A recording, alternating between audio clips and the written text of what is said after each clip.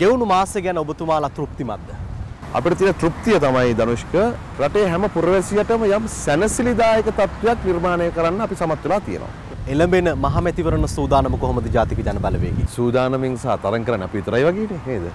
ගොඩක් අයට තියෙනවා මේ ඡන්දයක් නෑ වගේ පේනවා.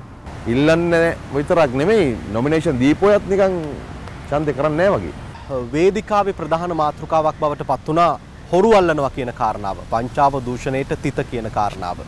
මේ උවමනාවට එහා ගියපු වැඩපිළිවෙලක් අපිට පේන්නේ නෑනේ. කෝ තාම හොරු ඇල්ලුවේ නැද්ද කියන කවුරු හරි අහනවා නම් අන්න ඒ අයටම අපි කියන්න කැමති තව මාස කීපයක් ගියාට පස්සේ ඔන්න අපිව දේශපාලන වශයෙන් දඩයම් කරනවා මේවා දේශපාලන පරිගැනීම් වගේ නිකන් අර ည ම්පචන් කතා කියන්න ලෑස්ති වෙන්න එපා කියලා. ඉතින් කලබල වෙන්න එපා.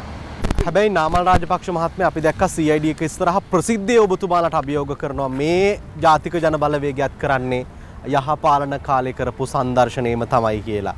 මං කියන්නේ නාමල්ට කියන්නකෝ බලන් ඉන්න කියලා පොඩ්ඩක්. විපක්ෂය මේ වෙලාවේ කියනවා මේ ජාතික ජන බලවේගයට දැන් ආණ්ඩුවේ බර දැනිලා තියෙන්නේ.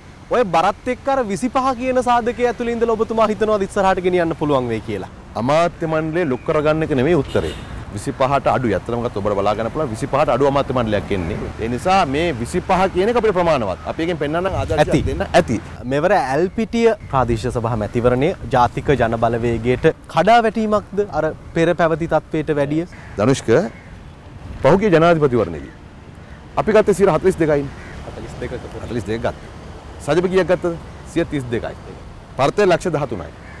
එතකොට 142ක් ගත්ත අපි ඇල්පිටිය ප්‍රාදේශ සභාවේ කොට්ටාස 15ක් දිනනවා. 132ක් ගත්ත සජබේ සජිත් ප්‍රේමදාස කොට්ටාස් දෙකක් දිනනවා. ඒ කොහොමද? ඒක නායකව තියෙන්නේ කොහෙද?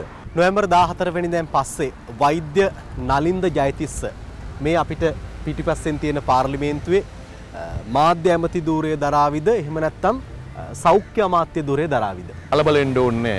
දැන් අපි ඒ ගැන වැඩි කල්පනා කරන්නේ නැහැ. අපි ඔක්කොම මුළු පක්ෂයක් හැටියට මේ අ, උත්සාහ කරමින් ඉන්නේ වැඩිම ආසන ප්‍රමාණයක් තමන්ගේ දිස්ත්‍රික්ක වලින් දිනා ගන්න. කවුරුවත් එහෙම තමන්ට මේක ලැබෙයි කියලා හිතාගෙන වැඩ කටයුතු කරන්නේ නැහැ. ජනතාව තමයි එහෙම හිතන් ඉන්නේ.